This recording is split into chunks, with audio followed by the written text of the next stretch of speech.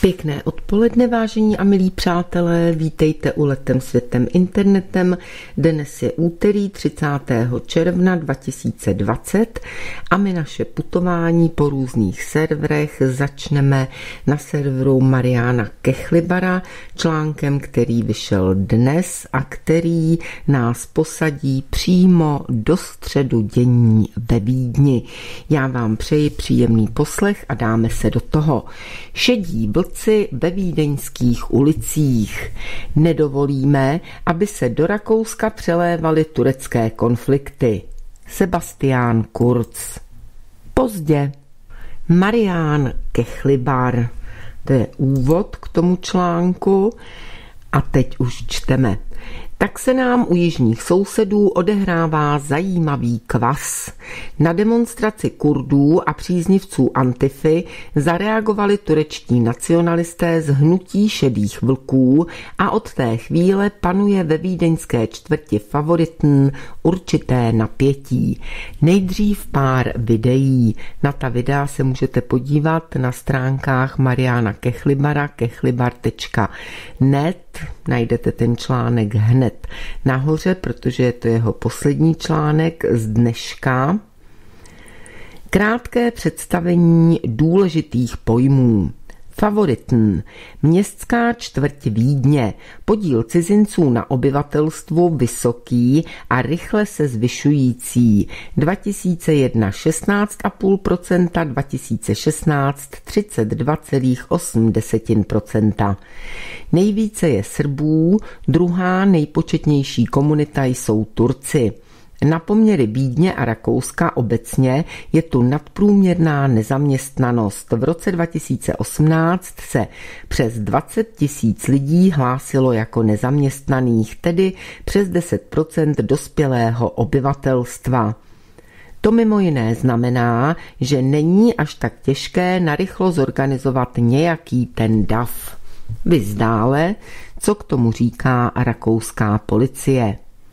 Čtvrť favoritn se svého času dostala do médií, když jeden z politických spojenců Viktora Orbána, Jánoš Lazár, natočil v březnu 2018 měsíc před maďarskými volbami nepříliš lichotivé video z jejich ulic.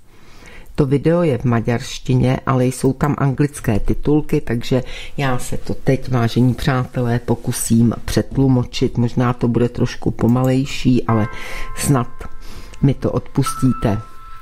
Nejprve obrázky z té čtvrti, kde je vidět hodně tmavých lidí a teď už hovoří pan Jánoš Lazár. Jsme v jedné z vídeňských neslavných čtvrtí nebo neslavných okresů, kde před 20 lety nebyli žádní imigranti. Dnes zde žijí jenom bílí křesťanští důchodci, všichni ostatní jsou imigranti. Počet imigrantů v Rakousku se zvýšil o 700 tisíc lidí. Většina z nich žije zde, v této vídeňské čtvrti. Uvidíme, jak bude vypadat Budapešť za 20 let, pokud opozice nebo opoziční strany povolí imigrantům, aby k nám přišli. Bude to vypadat jako zde. Pracujeme na tom, abychom nás před tímto fenoménem ochránili. Má na mysli zřejmě fenomén imigrace a fenomén vůbec asi toho imigrantského života. Je demonstrativní nebo samo za sebe hovoří to, že jsem zkoušel mluvit s někým, s některými z imigrantů o tom, jak se cítí ve Vídni. Ale nikdo mi nebyl schopen dát odpověď, protože oni nemluví německy. Je neoddiskutovatelnou zkušeností, nebo spíš bych tady řekla skutečností, že v případě, že je pustíme do Maďarska, tak to bude město narozené uvnitř města, to, co oni vytvoří, ti imigranti. A tito imigranti budou určovat každodenní život lokální místní komunity. Ve Vídni je mnoho škol, kde se už neučí nebo kde nejsou žádné bílé děti, ale jenom děti muslimských imigrantů. Tyto imigrantské komunity kompletně předefinovávají klasické městské prostředí, zkrátka to, jak ta čtvrť, ty ulice a podobně běžně vypadají ve městech. Je jasné, že Ulice jsou mnohem víc špinavé. Je jasné, že okolí nebo celé to prostředí je v něm daleko více chudých a také tam je daleko vyšší kriminalita. Je jasné, že si utvářejí to prostředí a celou tu čtvrť podle svého vlastního obrazu. Bílí křesťanští Rakušané se stěhují pryč a imigranti přebírají nebo už převzali kontrolu této čtvrti. V tomto okrese, v této čtvrti, když jsem dnes měl trochu času, abych se podíval okolo, tak jsem viděl velký nepořádek. Viděl jsem hodně špíny na ulicích a jenom málo původních obyvatel tady žije a ti mi řekli, že je tady mnohem vyšší zločinnost, násilí a také strachu mezi těmi lidmi, mezi těmi místními, kteří tam ještě zůstali. Je to pro nás velká otázka říká pan Lazár. Maďarská, maďarští měští obyvatelé, jak to bude s těmi městy v budoucnosti, podle toho, co teď tady vidíme. Pokud je necháme přijít a necháme je žít v našich městech, tak poroste kriminalita, poroste chudoba, žebrota, špína a naprosto nepředstavitelné, nebo tady je přímo nemožné městské podmínky. Pokud přijdou, tak tento proces, nebo pokud je necháme přijít, tak tento proces už nikdy nezastavíme. Takže to bylo to video a pan Kechlibar k tomu píše. Realita je malinko složitější než tento předvolební spot.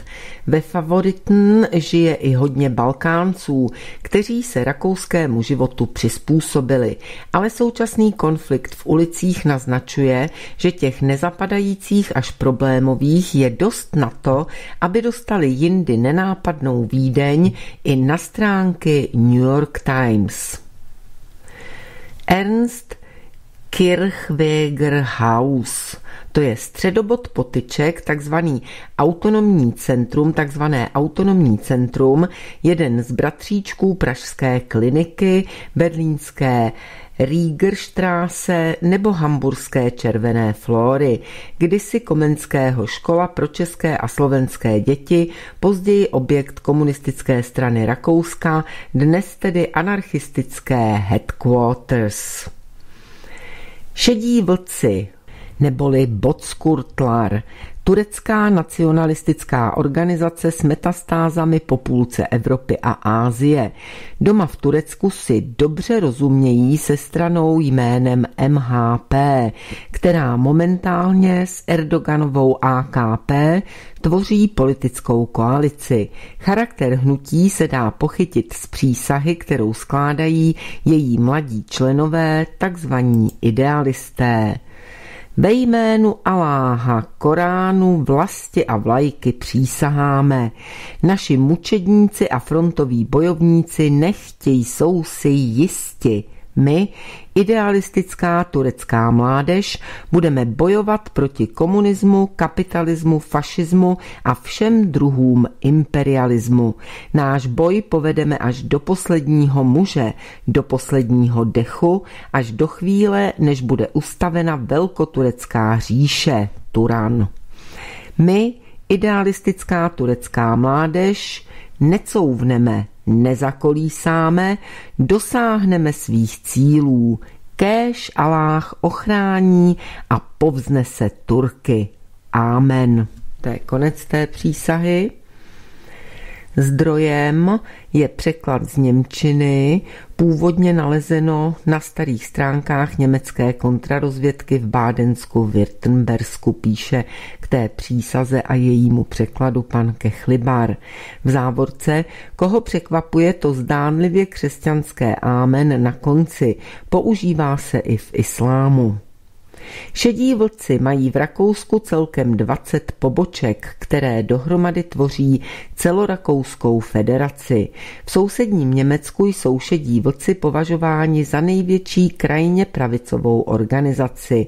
V závorce BPB, která to uvádí, patří pod spolkové ministerstvo vnitra. Aktivní jsou i ve Švýcarsku, kde pomáhali schánět hlasy švýcarských Turků před prezidentskými volbami v Turecku a rovněž se roku 2015 pustili do pouličních bojů s Kurdy v hlavním městě Bernu.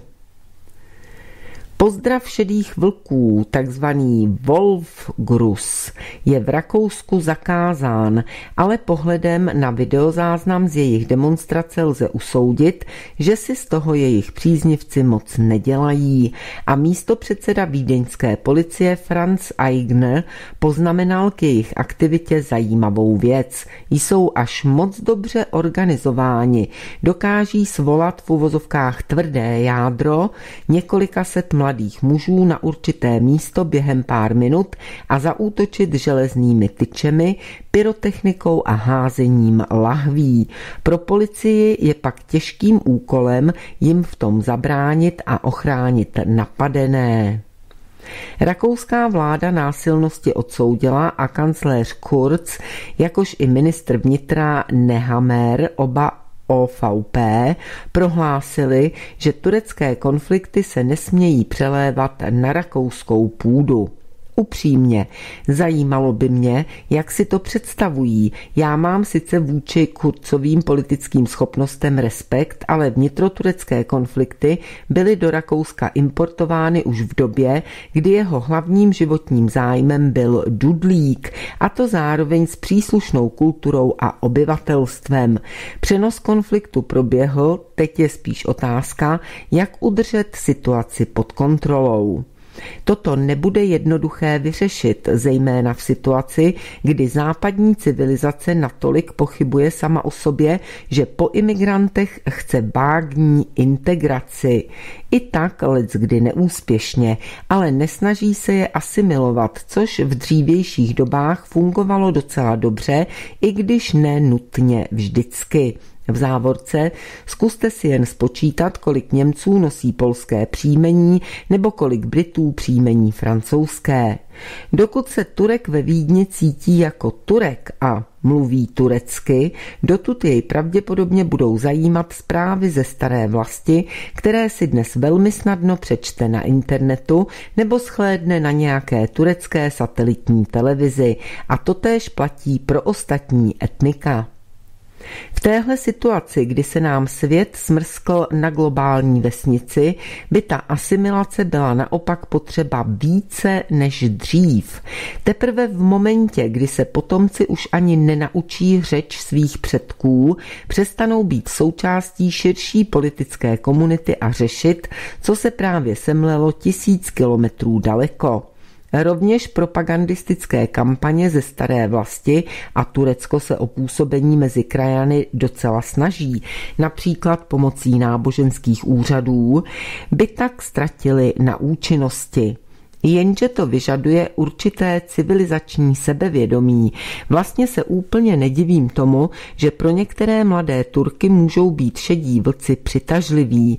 Dávají jim identitu, na kterou mohou být vnitřně hrdí, kdežto být postmoderním Rakušanem znamená hledat na sobě hlavně hnidy, případně pátrat potom, kdo koho zákeřně diskriminuje. A to pro člověka zvenčí zase tak přitažlivé není. Stojí za to si všimnout, že tomuhle problému jsme v České republice zatím ušli na základě čistého štěstí. Pokud mu máme ucházet i nadále, nemůžeme na to štěstí spoléhat věčně. Tady bych nesouhlasila, prozatím jsme tomu ušli, jednak proto, že nebylo v plánu, v těch původních plánech, aby tady byla ta imigrace tak živelná nebo tak velká jako na západě. A také proto, že je v celku jasné, že obyvatelstvo je většinově velmi urputně proti. Mám pocit, že asi 86% Čechů bylo proti imigraci, nevím, jaké je to číslo teď, ale ta čísla jsou opravdu vysoká, jak u nás, tak na Slovensku nejvyšší. Také v Maďarsku jsou ta čísla vysoká a v Polsku zřejmě to bude totéž, ale mám dokonce pocit, že u nás to číslo bylo vůbec nejvyšší. Teď to berte trošku s rezervou, tuto informaci, protože si nejsem úplně jistá. Čili neřekla bych, že to bylo štěstí. Za prvé, to naštěstí nebylo v plánu, ale v uvozovkách naštěstí, protože jak víme, tak ten plán, kterému globalisté dávali a stále asi ještě dávají přednost, byl a tedy i je vytvořit na území V4 a s dalšími státy potom Rakousko-Uhersko 2, čili i samozřejmě s Rakouskem a toto nově vytvořené území, nově vytvořený konglomerát měl být jakýmsi nárazníkem proti Rusku relativně nepostiženým nebo nezamořeným imigranty. Mimo jiné i proto, že v rámci dalších plánů, které tam byly a stále ještě jsou, se počítalo, že na toto území by se stěhovali lidé, kteří jsou pro globálního prediktora důležití a kteří nebudou moci dál se trvávat a žít na těch územích, kde žijí dosud. To znamená určitě někteří lidé ze západní Evropy a také z Izraele a podobně.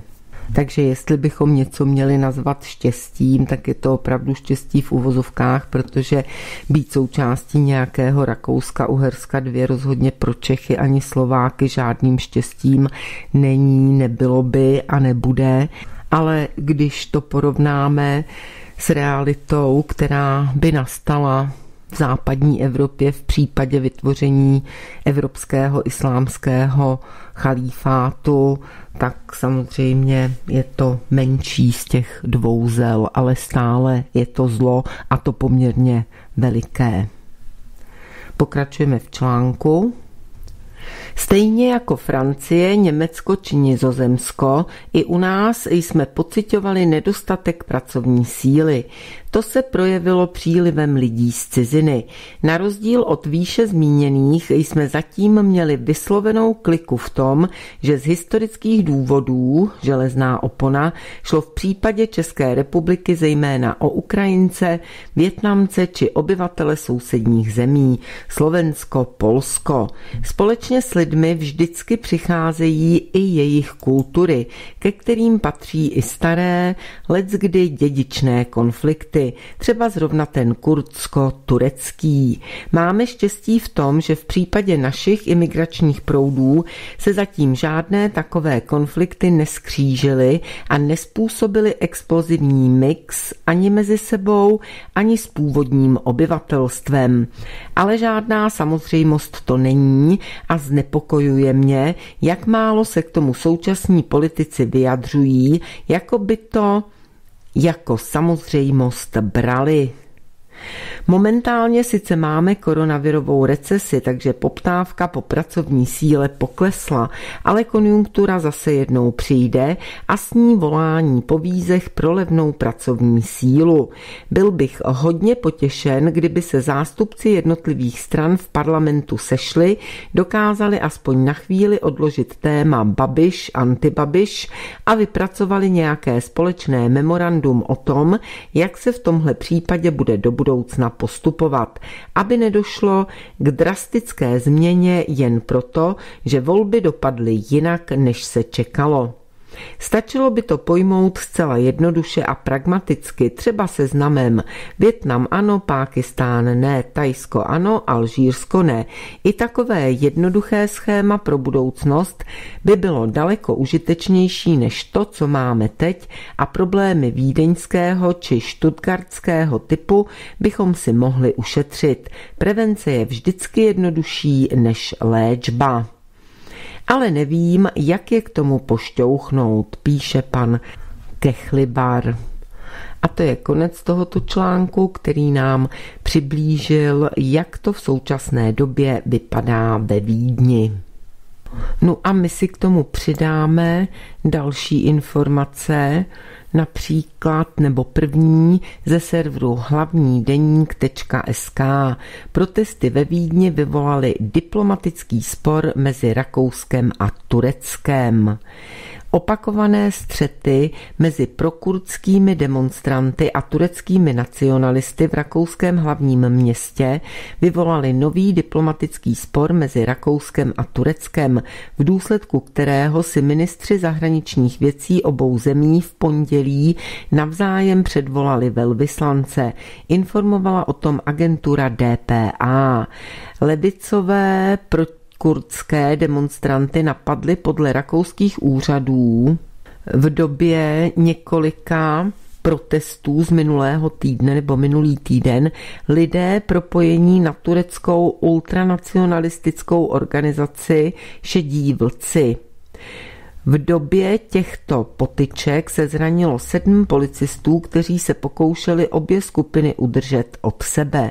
Podle rakouského ministra vnitra Karla Nehamera je absolutně nepřijatelné, aby na rakouském území docházelo ke konfliktům mezi tureckými menšinami. Kromě předvolání tureckého velvyslance plánuje rakouská vláda v následujících dnech přizvat ke společnému jednacímu stolu i představitele policie, tajné služby i integračních úřadů. Turecké ministerstvo zahraničních věcí však celý problém vnímá jinak a vidí ho v tom, že demonstrace zorganizovala strana kurdských pracujících PKK, která vede proti turecké vládě od roku 1984 ozbrojené povstání a v samotném Turecku, ale i USA či Evropské unii je považovaná za teroristickou organizaci. Zavírat na těchto protestech oči před propagandou a symboly PKK, které útočí a znevažují Turecko, je neakceptovatelné, uvádí se ve stanovisku tureckého ministerstva zahraničních věcí. Vztahy mezi Tureckem a Rakouskem jsou napjaté od té doby, co se konzervativní rakouský kancléř Sebastian Kurz otevřeně vyslovil proti vstupu Turecka do Evropské unie a omezil vliv Ankary na početnou tureckou menšinu v Rakousku. Upřímně řečeno, vážení přátelé, si myslím, že pokud to ve Vídni vypadá tak, jak nám líčí tyto dva články, tak začíná být prakticky vyloučené, aby Rakousko bylo součástí nějakého Rakouska-Uherska. Nevím tedy, ale zdá se mi, že ta situace se tam dost vymyká spod kontroly. Z Vídně je blízko do Bratislavy nebo vůbec na Slovensko, tak se teď podíváme tam. Dnešní Sputnik píše, Slováci hodnotí 100 dní působení Matovičova kabinetu známkou 5. Udělal si z huby řiď, říká Rafaj. Člen slovenské národní strany SNS Rafael Rafaj na svém Facebooku schrnul výsledky fungování slovenské vlády pod vedením premiéra Igora Matoviče.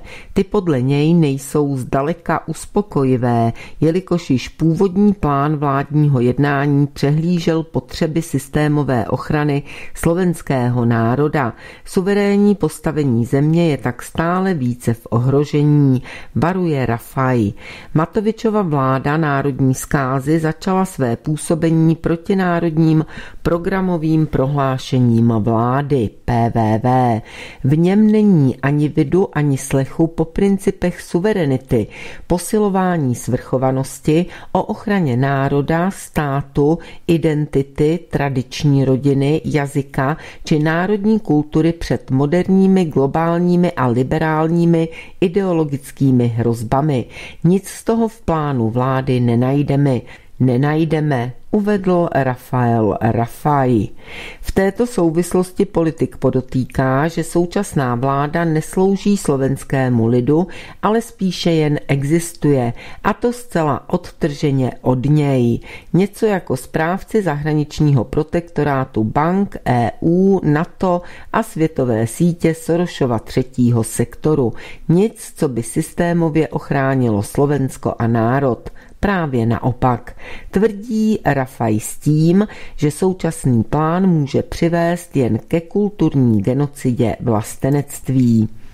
Svou myšlenku o tom, že slovenská vláda nepočítá se zájmy a hodnotami svého národa, obhajuje upozorněním na ta opatření, která byla učiněná během posledních tří měsíců. Už během prvních sto dní si tato vláda, té v uvozovkách, troufla ohlásit de facto likvidaci matky národa Maticu slovenskou a ukončit tak dílo národní zkázy. Do reálného ohrožení územní integrity a nedělitelnosti území republiky dostal premiér Matovič nejen 800 tisíc Slováků na Jižním Slovensku nezvládnutím oslav z tého výročí Trianonu, kde mu do rukou maďarští irredentisti předali požadavek na územní autonomii alias maďarské okolí poznamenal poslanec. Vládě mimo to vyčítá rovněž i způsob zvládání koronavirové pandemie, jenž podle Rafaje vedl k těžkým ekonomickým důsledkům. Zkázu zbytku populace dokonali opatření během koronastrašáka, dokonala opatření během koronastrašáku, jelikož Slovenská republika dosáhla druhého největšího ekonomického propadu ze všech zemí Evropské unie, uvedl politik. Za prvních sto dní si kabinet Igora Matoviče udělal z huby řiď a opustil předvolební sliby o transparentnosti, odbornosti a nulové toleranci k přešlapům, které koalice dlouhodobě kritizovala. Zmínil Rafaj a připomněl také postoj premiéra ke kauze diplomové práce Borise Kolára a poslankyně Krištůvkové, jejíž označil za alibistický. Slováci tak už za sto dní rekordně rychle poznali, že král je nahý a nemá žádnou korunu ani auru čistoty či výjimečnosti. Kolektivní vysvědčení pro kabinet Igora Matoviče za tento rychlokurs M učení Slovenska již během prvních sto dní je pět. Uzavřel celou věc člen Slovenské národní strany SNS Rafael Rafaj. A teď se podíváme, jak se na situaci na Slovensku dívá bloger, který si říká Orákl 911. Předčasné volby jsou jistotou. Koalici rozkládá tak nebo tedy jak vnější tlak, tak i vnitřní pnutí. Obě věci jsou sice legitimní, ale zároveň i uměle živené s tím, že většina koaličních politiků nechápe, do čeho vlezla a jaké procesy byly spuštěny či posíleny. Dodávám, že to, co se děje na politické scéně, vyhovuje oběma frakcím nadnárodního řízení, nebo tímto ulehčuje dosažení jejich cílů. Podtitulek Jaká je situace na Slovensku? Nuže, koaliční partneři si začali jít navzájem po krku. Kolára a Krištůvkovou jdou rozebrat na součástky jejich vlastní koaliční v uvozovkách partneři, hlavně kvůli diplomové práci, ale vzhledem k tomu, kdo je šéfem SIS, si můžeme být jistí, že tím to neskončí v závorce a to i navzdory tomu, že případný pokus o odvolání Kolára z postu předsedy parlamentu bude úspěšný. Dodávám, že Loutko herečka chce situaci hasit, avšak její vyhlídky jsou mizerné, neboť Kiska vyhlásil trvalý odchod z politiky, ani ne týden potom, co se zázračně uzdravil. Člověk si nutně začne klást otázku, kdo a čím ho takto přitlačil ke stěně, nebo tedy ke zdi. No nejspíš globalisté, že? Protože Kiska to je podpindusník jako víno. Další věc je, že se ozvali i velkopodnikatelé s konstatováním, že tato vláda není jen neschopná, ale není ani ochotná ochránit jejich zájmy s tím, že takto to dál nemůže jít. Mezi řádky to znamená mnoho. Tady pan Orákl 9.11 naráží na článek, který vyšel v neděli na serveru extraplus.sk Soták nastal čas promluvit si z politiky jinak. Politici nemají morální právo rozhodovat o nás bez nás. Klub 500.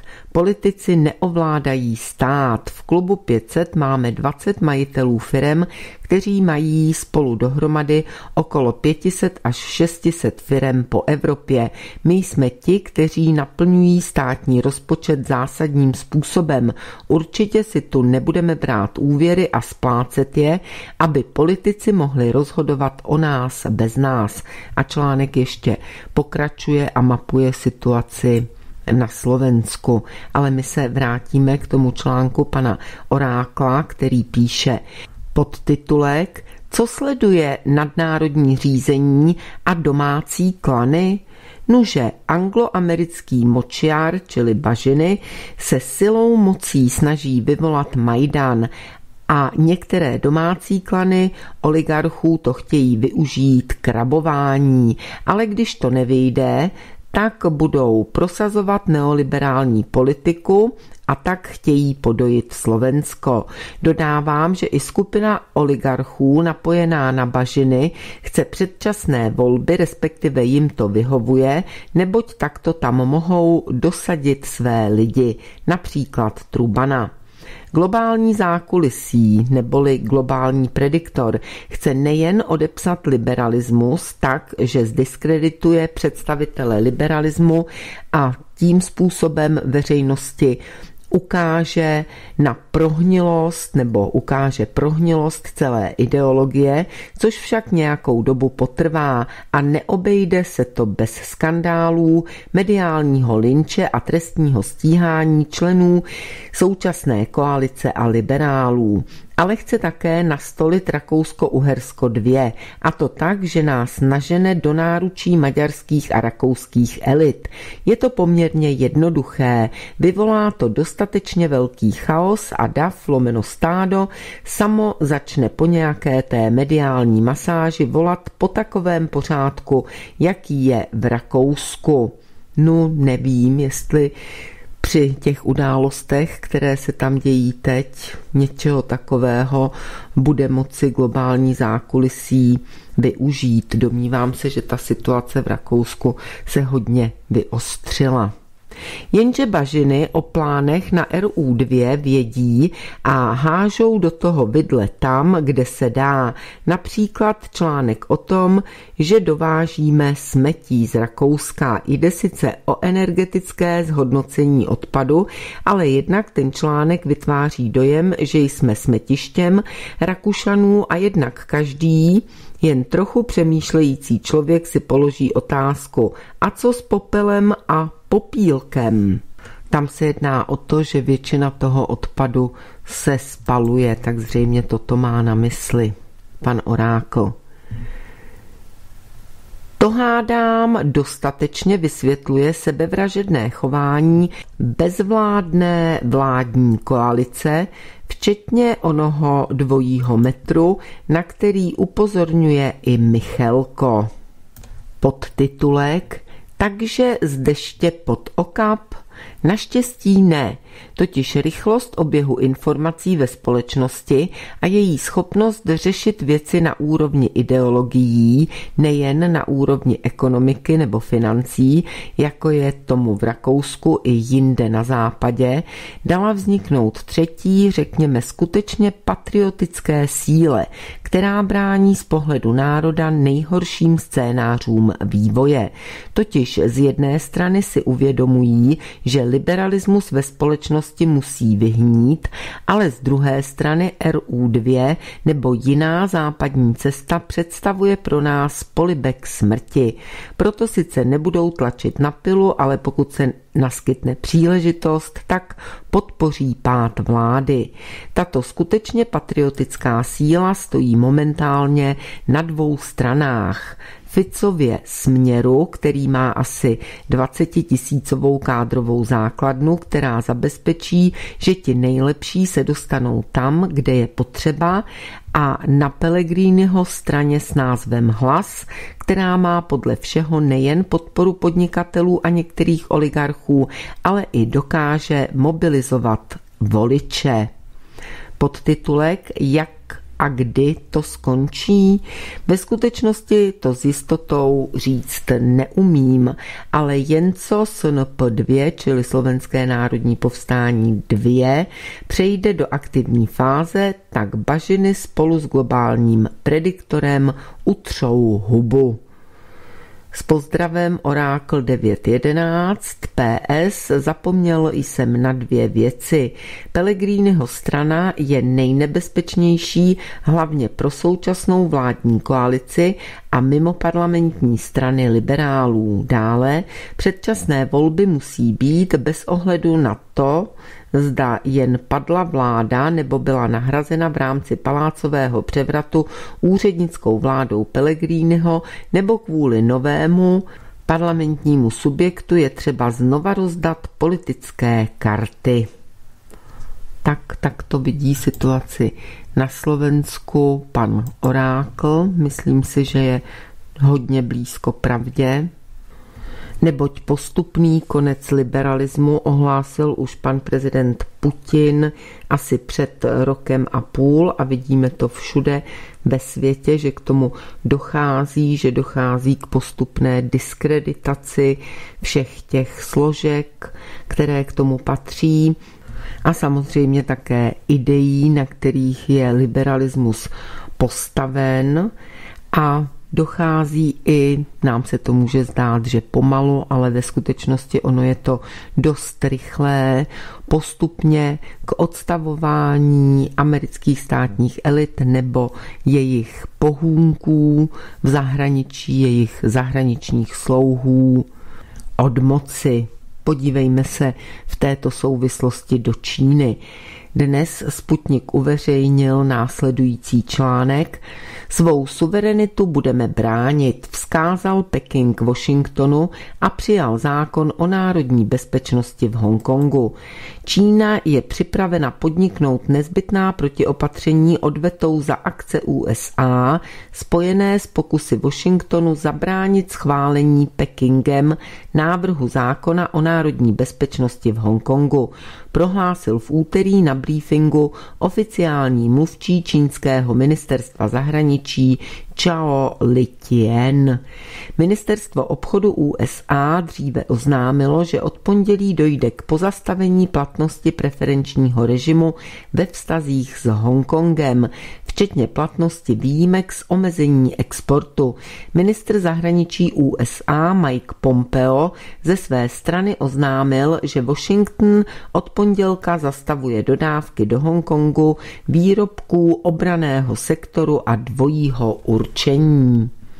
Co se týče návrhu zákona o národní bezpečnosti v Hongkongu, čínská strana už nejednou vysvětlila svou pevnou pozici, že tato otázka je výhradně vnitřní záležitostí Číny a žádný cizí stát nemá právo do toho zasahovat. Odhodlání čínské vlády hájit zájmy státní svrchovanosti, rozvoje a bezpečnosti je neochvějné, prohlásil diplomat. Zdůraznil, že odhodlání odhodlání Číny čelit jakémukoliv zahraničnímu zasahování do záležitostí Hongkongu je také neměné. Diplomat dodal, že pokusy o zastrašování Číny stroskotají. Plány USA zabránit schválení Čínou návrhu zákona o národní bezpečnosti v Hongkongu cestou tzv. sankcí nebudou úspěšné, poznamenal Lao Litien. Podotkl, že Čína je připravena podniknout proti těmto milným opatřením USA nezbytná protiopatření a rozhodně hájit své státní zájmy. Podtitulek Čínský parlament schválil zákon o národní bezpečnosti v Hongkongu. Stálý výbor všečínského schromáždění lidových zástupců v závorce nejvyššího zákonodárného orgánu Číny schválil návrh zákona o národní bezpečnosti v Hongkongu, oznámila televizní a rozhlasová korporace RTHK. Podle informací dokument schválilo jednomyslně všech 162 členů státního výboru. Jak tvrdí zdroje, v souladu s návrhem zákona bude činit maximální trest za takové zločiny, jako je například separatismus, mnohem více než 10 let vězení. Člen stálého výboru Tchan Yao Tsung zdůraznil, že zákon v uvozovkách není moc ostrý a že se lidé nebudou kvůli tomu rozčilovat, když se obeznámí s detaily. Tchan Yao Tsung dodal, že detaily budou zveřejněny odpoledne. Podle jeho slov předpokládá zákon tři typy v uvozovkách vzácných situací, kdy kauzy obžalovaných ze zločinů, které ohrožují národní bezpečnost, budou projednávat soudy kontinentální Číny. Podrobnosti ale neuvedl, takže už na ně mají políčeno, přátelé. To je přesně ta důležitá věta. Podotkl, že návrh zákona byl vypracován v souladu s mezinárodními normami a že větší jeho část bude odpovídat právnímu systému. Hongkongu. Média předpokládala, že zákon nabude platnosti 1. července v den 23. výročí předání Hongkongu pod jurisdikci Číny. Tyto zprávy nebyly oficiálně potvrzeny ani v Pekingu, ani v Hongkongu. Poslanci Všečínského schromáždění lidových zástupců pověřili 28. května stálý výbor vypracováním zákona o národní bezpečnosti zvláště pro Hongkong. Hong. Ještě ve stádiu navrhování vyvolal tento návrh zákona kritiku a nespokojenost protivládních sil v Hongkongu a mnoha západních úředníků, kteří se domnívají, že podkopává autonomii zvláštní administrativní oblasti. Takže ti, kdo proti tomu nejvíce protestují, to jsou zřejmě ty největší potvory z bažin ti největší jožinové, na které teď konečně snad dopadne past. Respektive dopadne past spíš ruka zákona v tomto smyslu. V dokumentu se určují hlavní závazky centrální čínské vlády v otázkách spojených s národní bezpečností a také ústavní odpovědnost Hongkongu za její zachování. Dokument předpokládá kromě toho tresty za zločiny ohrožující národní bezpečnost, separatistickou činnost, pokusy o podkopání státní moci, terorismus a spolčování s cizími státy nebo s protičínskými silami v zahraničí. Tak myslím, že se to konečně pořádně pohne v Číně, nebo v to alespoň doufám.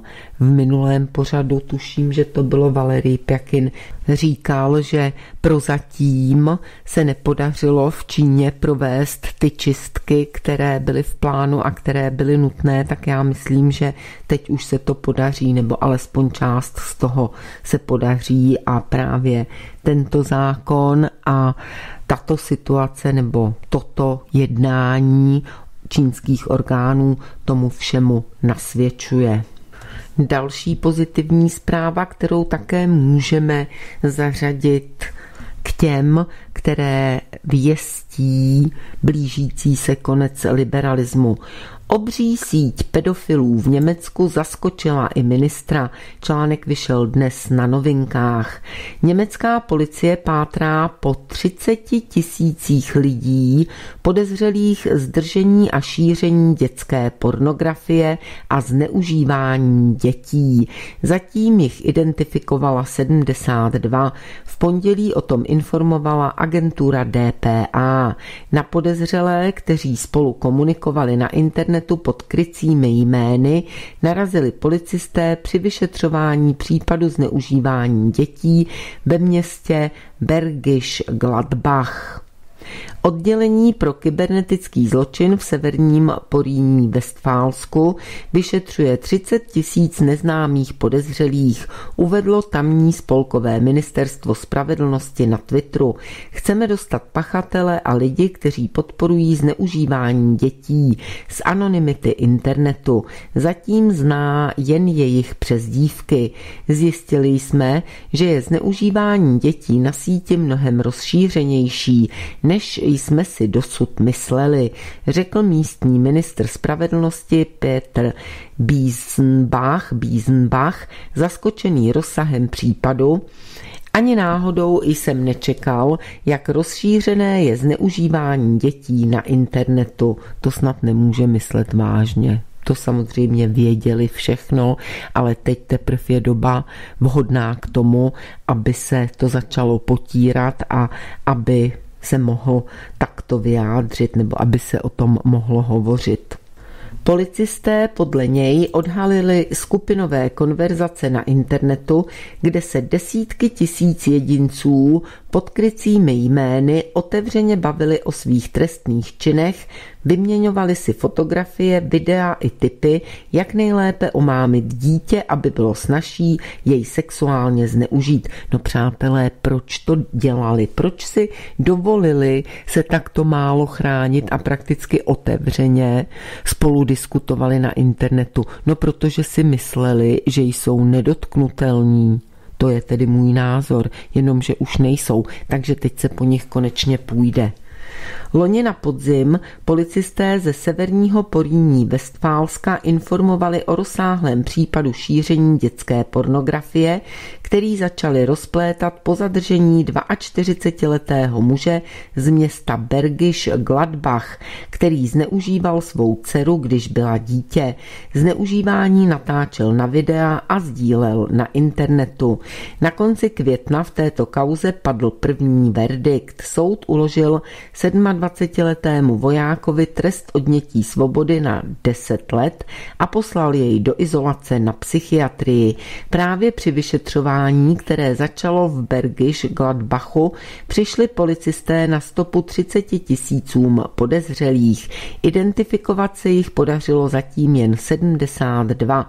Podle státního zástupce Markuse Hartmana není jasné, zda se podaří zjistit totožnost všech podezřelých. Také to může být varování pro mnohé z nich.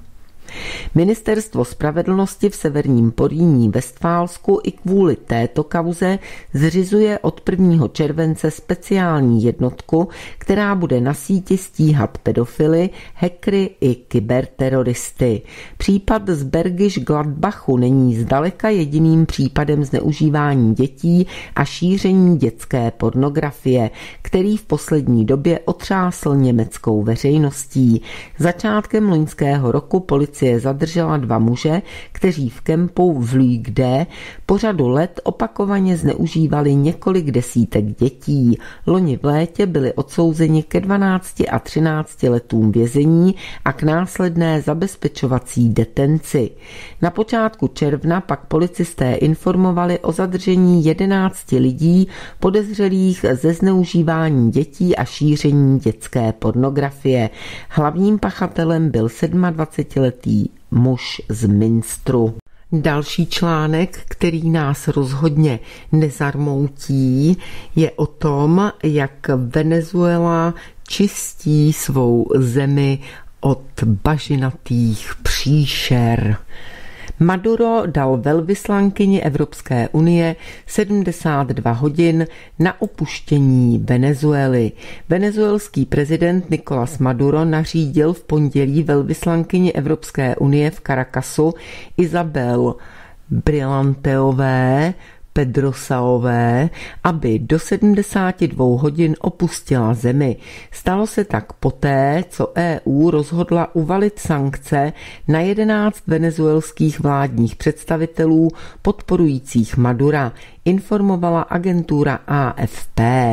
Maduro řekl, že pokud evropští lídři nerespektují Venezuelu, měli by ze země odejít. Všimněte si, jak tím také klesá opět o něco prestiž Evropské unie. Velvyslankyni bude podle Madura na cestu domů poskytnuto letadlo. Venezuelský vzdušný prostor je totiž momentálně pro pandemii nového koronaviru pro komerční lety uzavřen.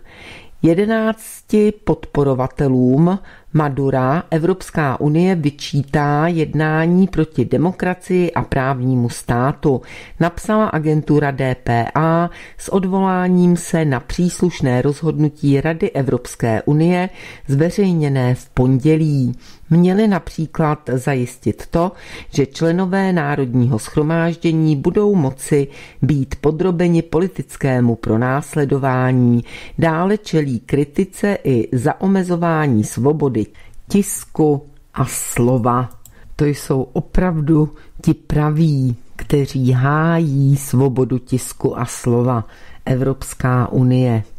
Vztahy mezi EU a Venezuelou jsou napjaté od roku 2017, kdy se Venezuela stala první zemí Latinské Ameriky, na kterou Evropská unie uvalila sankce včetně zbrojního embarga.